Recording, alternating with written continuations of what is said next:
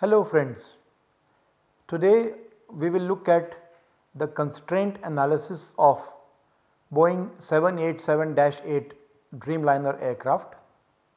This aircraft uh, is a very path breaking aircraft and the picture that you see is uh, of the first 787 which was delivered to All Nippon Airways the launch customer. They placed an order for 50 aircraft in 2009 and that is how the journey of this aircraft started. I am going to follow a particular color scheme in this presentation which I would like you to make note of. The general instructions regarding uh, calculations are going to be given in this brown color which is the basic background color. Wherever there are values specified as uh, the parameters of the constraints those values will be shown in black color. Any values which are assumed based on past information or data about the aircraft will be shown in light blue color. At places where I would like you to do some calculations I am going to use the red color and uh, followed by two vertical lines either two black lines or a pause button the purpose of this is to alert you while watching the video that at that stage you have to pause the video and you have to do some calculations and then resume. Finally, the calculated values that you obtain using the formulae will be shown in the dark blue color. You have to match the values obtained by you with these values. And in the end I have some comparison between our estimated values calculated values and the values which are prescribed for Boeing 787. Only at one place in the whole presentation towards the end we will show that data in green color. So, I, I hope you appreciate this color scheme and it will help you in understanding the scheme of things. Let us look at the list of constraints for the Boeing 787 Dreamliner that we will look at today. You can notice there are 7 constraints in all as specified by the user and you can also observe that the values specified are in the British system of units. So, this is the reality in aviation. Most of the aviation uh, experts still work in the FPS system and hence I have decided to reproduce the values as it is. But as you know we are supposed to work in the SI system. So, the values in this table have been converted into the SI system in this table. Now, the numbers are not rounded, but they are all in the SI units. So, I think uh, it is important for you to uh, note down these uh, values. In fact, we will use them, we will we will need them as we go ahead. So, we will show them before we do the calculations. Let us have a look at some useful data about Boeing 787. It will be assumed that either this data is supplied to you as input or you have uh, obtained these numbers prior to this tutorial uh, through previous tutorials and calculations. Let us first look at the aircraft and performance data. Uh, this aircraft cruises at a Mach number of 0.85 and the maximum Mach number in cruise is 0.9. Uh, the cruising altitude is 37,000 feet which uh, becomes 11,278 meters. The value of thrust lapse ratio alpha at the cruising altitude is 0.1789. This information is not readily available uh, we have obtained this uh, information by looking at some specific data regarding the Boeing 787. The maximum takeoff mass of the aircraft is 476,000 pound which converts to 215,971 kilograms. The mass of this aircraft when it uh, ends its uh, climb and begins the cruise is 448,419 pounds which converts to 203,457 kilograms This information also is not easily available, but uh, it has been obtained by us by looking at some data. The maximum landing mass of the aircraft is 365,000 pounds which converts to 165,608 kg. The taper ratio of the wing is 0.1528 the aspect ratio of the wing is 10.58 and the thickness to chord ratio of the wing is 9.4 percent. In reality the taper ratio, the thickness ratio of the wing varies from root to mid span to tip but we have taken some medium value. In fact I have taken the value at the break.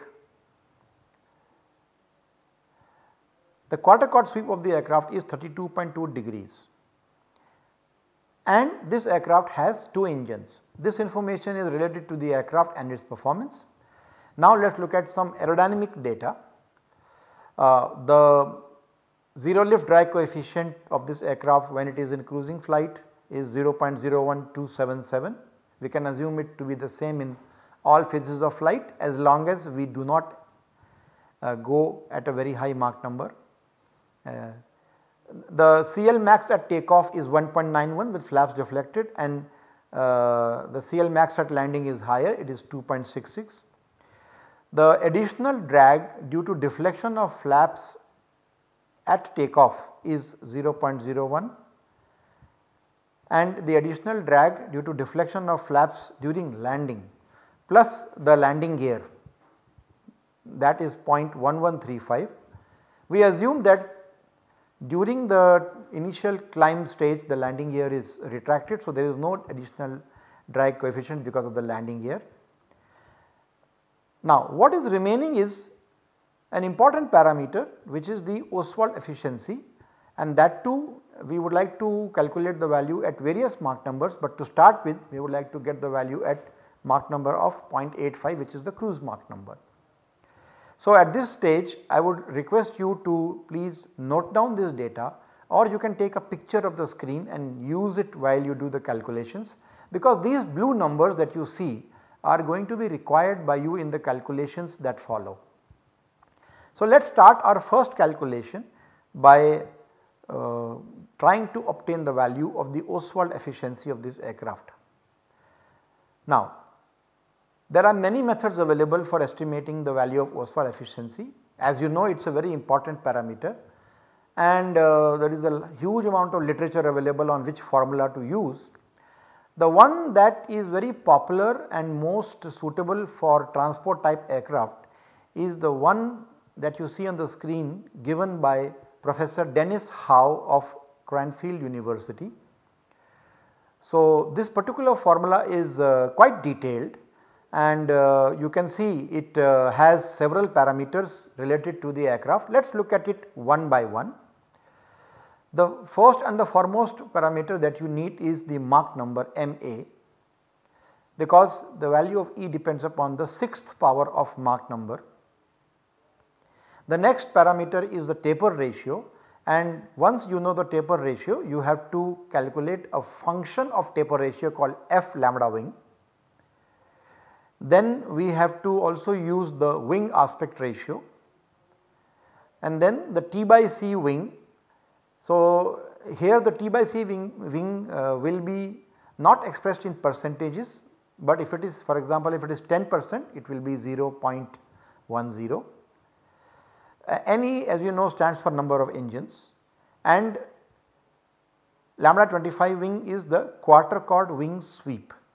So, all these parameters are needed before we can estimate the value of the Oswald efficiency.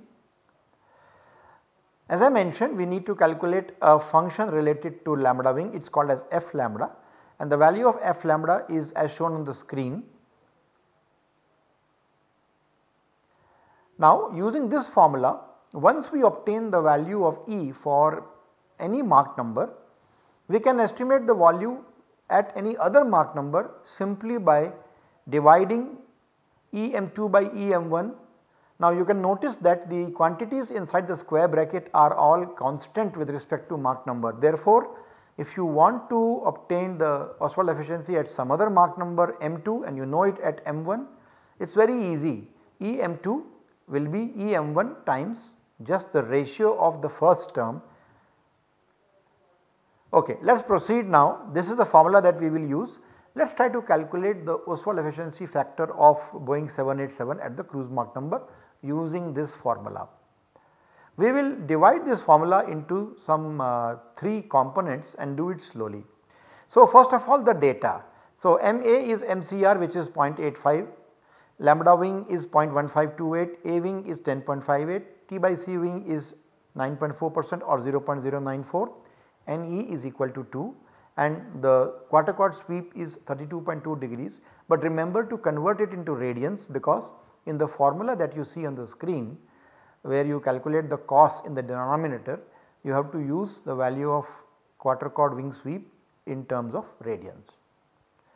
So, what we can do is we can divide this formula into 3 parts. So, E will be equal to a term A into bracket 1 plus B plus C where A, B and C are highlighted as shown in the screen.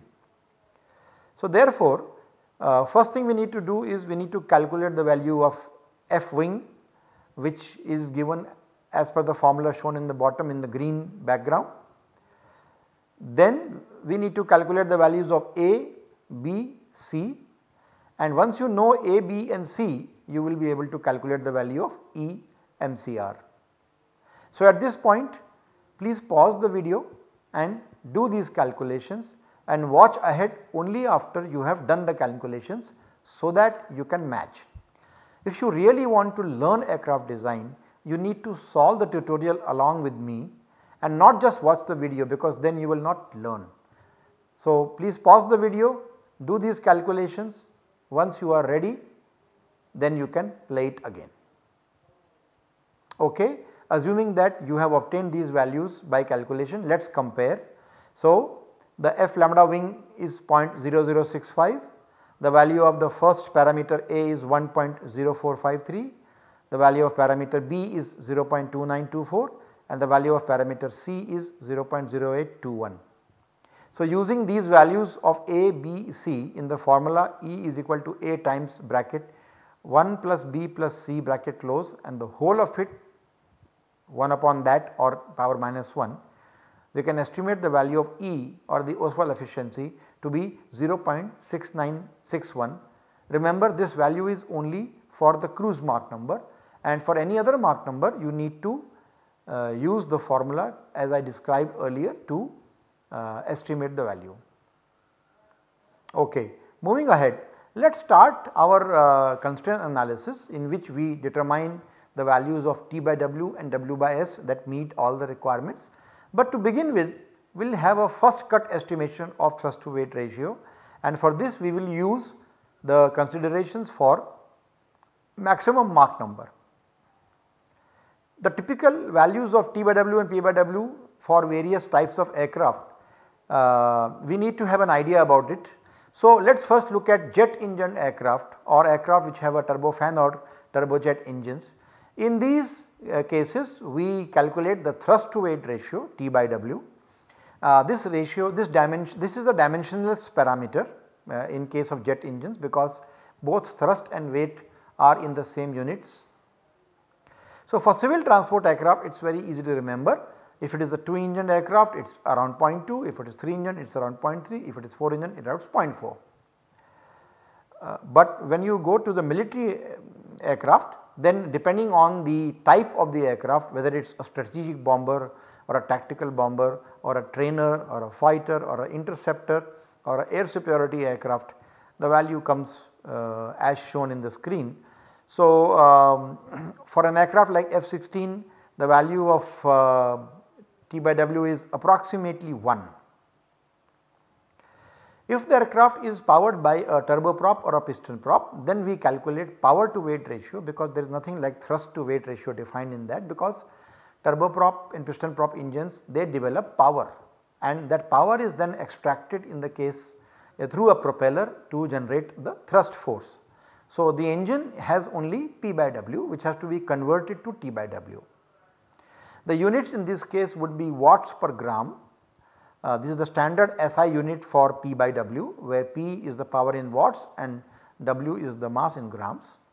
So, for civil aircraft again depending on the type there are uh, various values which are the ballpark or recommended or first cut values and if you are if you are looking at the military aircraft the values tend to be slightly on the higher side. This data shows that for our case which is a twin engine aircraft uh, we can expect the value to be nearly 0.2 or between 0.2 and 0.3 and this data has actually come from the textbook by Dan Raymer. Moving ahead, let us also estimate based on some suggestions by Dan Raymer in his book on how to estimate or get a better estimate for thrust to weight ratio as a function of the maximum Mach number because we are looking at a jet engine aircraft. So, uh, Dan Raymer has given a table, there is one table for uh, aircraft powered with jet engine aircraft and there is another one for prop engine aircraft. We are looking only at the one with jet engines and in our table our aircraft is a jet transport aircraft. So therefore the T by W0 that is the thrust produced at sea level static conditions divided by the design gross weight W0 is expected to be A into M max power C where M max is the maximum Mach number and A and C are constants to be determined from this table. For example, for jet transport aircraft Raymer recommends to use A as 0.267 and C as 0.363. So, for Boeing 787-8 the maximum Mach number as specified is 0.9 and therefore if you can estimate the T by W naught using this particular simple approximation. So, let us do that calculation. So, the calculation will be very simple it is just 0.267 into 0.9 to the power 0.363 the value comes out to be all 2.0.257. So, please remember as per the previous uh, slide the approximate value was 0.2 between 0.2 and 0.3 because it is a twin engine aircraft and now because we have the maximum Mach number information available we get a slightly better estimate. So, if you get your answer very far away from this number Suppose you get the answer as 0.4 or 0.5 etc. or 0.1 you should start distrusting your calculations. If you get a value near 0.257 then you can be quite confident that the answer is correct. Okay. Moving on now let us start the process of doing constraint analysis. So what we will do is first we will look at constraints that depend only on thrust to weight ratio. There are two such constraints as we know in the list. The first one is the second stage climb gradient and the second one is the missed approach gradient. And uh, we will start by looking at how the thrust to weight ratio is limited by constraints on these parameters. So, the first one is the second stage climb gradient as specified in the constraint table the second stage climb gradient is expected to be 3.49 percent minimum when the aircraft is at the maximum takeoff weight of 215,971 kilograms under ISA plus 15 conditions at sea level. And to calculate this we will use this particular formula. If this formula seems unfamiliar to you, I would request that you stop here, go back and watch the lecture on uh, constraint analysis for civil aircraft where we have explained how this formula is obtained and what it stands for. So, proceed further only if you are familiar with the formulae and you have watched the lecture regarding constraint analysis procedure for civil transport aircraft. Otherwise, you will not be able to appreciate the numbers. Okay. Moving on, when we are looking at the second stage climb gradient, then we are using the subscript SSC for second stage climb and SSCG stands for second stage climb gradient. So, the formula which I just flashed I have just inserted the corresponding values for the thrust, for the weight, for the L by D and for the gamma in this particular formula. So, here NE stands for number of engines which is specified or given as 2. The L by D in the second stage climb is the L by D to be calculated for the second stage climb configuration. Now recall from our previous lecture that during the second stage of the climb flaps are in the takeoff configuration and for that we have already been given that the additional drag because of the deflection of flaps in the takeoff configuration for this aircraft can be assumed to be 0.01 and also the landing gear is up or retracted and therefore there will be no additional drag because of landing gear deflection. So, the only additional drag which will occur would be only because of the flaps. The required second stage climb gradient as uh, specified in the constraint diagram constraint uh, table was 3.49 percent. So, with this information now we need to calculate the L by D uh, in the second stage climb. So, that is our next step and let us see how we can calculate it. So, this calculation happens over I think 5 steps. First because the second stage climb is happening at uh, ISA plus 15 degrees we need to do some atmospheric parameter calculation.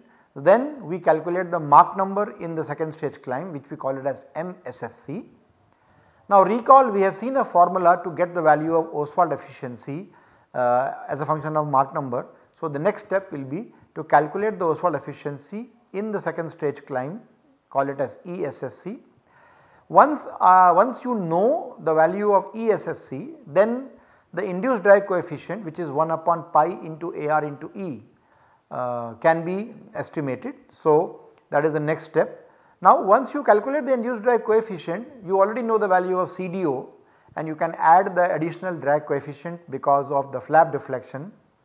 So, with that you can get the value of CD and uh, once you get the value of CD you already know the value of CL therefore, you can get the value of L by D. Okay, let us do these calculations for Boeing 787-8. It is specified that the second stage climb occurs at ISA plus 15 degrees. So, first thing to do is to calculate the value of uh, the temperature at ISA plus 15 degrees centigrade. That is uh, 288.16 which is the ISA temperature at sea level plus 15 degrees. And using this information we can calculate the value of density which will be P by RT, P remains the same 101325 at sea level whatever be the ISA value, 287 is the gas constant and uh, the units are joules per kg degree Kelvin and 303.16 is the ambient air temperature at ISA plus 15 conditions. So, pause here and do the calculations for rho the value comes out to be 1.1646 kg per meter cube. Next we need to calculate the sonic speed at this particular condition. The sonic speed is basically root of gamma RT where gamma is the ratio of the specific heats 1.4 for air, 287 is again the universal gas constants and 303.16 you know is the ambient air temperature. So, calculate this value by pausing the video. The value turns out to be 349 meters per second and the value of sigma which is the density ratio would be the density under these conditions divided by the sta standard sea level density of 1.225. Pause the video, do the calculation, the value of sigma turns out to be 0.9502. The next step is to calculate the Mach number in the second stage climb. For this the V stall is already specified as 138 knots EAS under ISA conditions. So, first what we do is we convert this into TAS. So, uh, EAS you know is equal to TAS into root of sigma therefore TAS will be EAS into uh, divided by root sigma. So, it will be 138 upon the value of sigma which has been obtained in the previous slide as 0.9502. Please get this value pause the video and let us continue. The value comes out to be 141.57 knots or 72.83 meters per second. To convert knots into meters per second you should multiply by 1852 and divide by 3600 or you can also multiply by 0.514444. Now we assume that the, the velocity of the aircraft in the second stage climb would be 1.2 times V stall to keep some safety. So that would be 1.2 times 72.83 please calculate this value by pausing the video. The value turns out to be 87 per 4 meter per second and since we know the velocity now and we also know the sonic speed obtained in the previous slide we can calculate the value of the Mach number in cruise which is 87.4 divided by 349. or 0.2504. So, the Mach number in the climb for this the Mach number in the second stage climb is 0.2504. The next step would be to calculate the value of the Oswald efficiency in the second stage climb. You know that the Mach number is 0.2504 during the second stage climb. We also know that the cruise Mach number is 0.85 and the value of E at cruise was derived earlier as 0.6961. We have a formula which can be used to calculate the value of E at any other condition. We need to calculate the E at the second stage climb. So, we can use this formula. Uh, it is a simple ratio of 2 terms multiplied by the value of E at the cruise condition. Uh, calculate the value it turns out to be 0.7275. Now once you know the value of E you can go ahead and calculate the induced drag coefficient during the second stage climb because CL max takeoff is known as 1.91 specified ESSC we have just now calculated as 0.7275. Now since uh, VSSC is 1.2 times V stall therefore CL in SSC will be CL max by 1.44 which will be 1.91 by 1.44 that would be 1.326. I hope you are pausing the video whenever you see this two vertical lines and doing the calculations yourself. Once again I would like to repeat that otherwise you will not be able to really get a hang of this procedure. You will simply nod your head and go ahead and you will not be able to appreciate. So please spend some time wherever you see two vertical lines like this you should pause the video, do the calculation that has been asked and then check your values in the next. Okay. So, now once we know CLSSC uh, we can get the value of CDI which will be CL square by pi AE now everything is known to us. Okay. So, I have put the values in the formula for you for your ease in calculation but please pause the video and calculate the value of CDI SSC. The value comes out to be 0.0708. Now finally once you know the lift to drag ratio, once you know the values of these parameters and you know that the uh, additional drag because of flap deflection is 0.01 and additional delta drag because of the landing gear is not to be considered.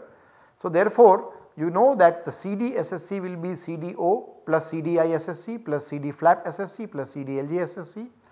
Please calculate this number by putting in the corresponding values CDO is 0.02 01277 CDI is all known. So, with all these values you can get the value of CD at SSC as 0.0936.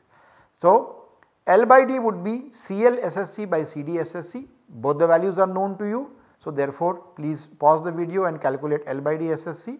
The L by D SSC turns out to be 14.17. Compare this with the L by D of approximately 19 to 20 that you get in a cruise condition so, we see that during the second stage climb because the landing gear is up and only the flaps are deflected you lose a little bit uh, from 19 to 20 you just come to around 14. So, there is definitely a reduction but it is not too much. Later on when I show you the calculations for the missed approach gradient you will notice that the L by D is going to fall to a much lower value. So, with this we can calculate the thrust to weight ratio for second stage climb gradient again I am just flashing the old formula but now we have all the values available uh, SSCG is specified as 3.49 percent. We can assume that during the second stage the weight is equal to almost the takeoff weight. So, therefore, the weight parameter beta will be almost equal to 1, the number of engines is equal to 2, L by D SSC is just calculated. So, therefore, the value of T by W in SSC condition or TSSC by WTO can be easily calculated using this formula. This value pause the video and calculate please the value comes out to be 0.2109. However, this is not the answer because this is TSSC by WTO what we want is TSL by WTO. Okay. So, this is at an ISA plus 15 condition whereas we need to get the values at ISA TISA upon WTO. So, for this we need to use the value of alpha that is uh, uh, obtainable uh, which I will show you shortly. So, what you do is because we know the value of TSSC by WTO and we also know the value of sigma we can always say So, the, the TSSC is basically the thrust under ISA plus 15 condition and TSL is the thrust under ISA conditions. And uh, we know from our basic engine model that for a subsonic turbofan engine the value of thrust lapse ratio alpha when there is no afterburner is simply the density ratio rho by rho SL or sigma. So, therefore, TSL will be equal to TSSC divided by sigma. So, you can show that TSL by WTO which is what we want should be more than equal to TSSC by sigma divided by WTO. But since both are in denominator you can exchange them and you can get TSSC by WTO in divided by sigma. Now TSSC by WTO is known as 0.2109 and sigma is known as 0.9505. Therefore, please pause the video and calculate the value of TSL by WTO. It will be 0.2109 divided by 0.9509 or 0.2219. Hence, we come to the first conclusion that thrust to weight ratio of the aircraft should be more than 0.2219 from second stage climb gradient consideration. So, now we are going to do similar calculations for other constraints. Let us look at how we can calculate the constraint line due to the second stage climb gradient. So, this appears as a single horizontal line, single horizontal line because for there is no role of wing loading in this case we got a direct constraint on T by W. So, the T by W value has to be always more than 0.22, 0.2219. So, therefore, this is the horizontal line. So, the area which is shaded below this line is infeasible and the area above this line is feasible.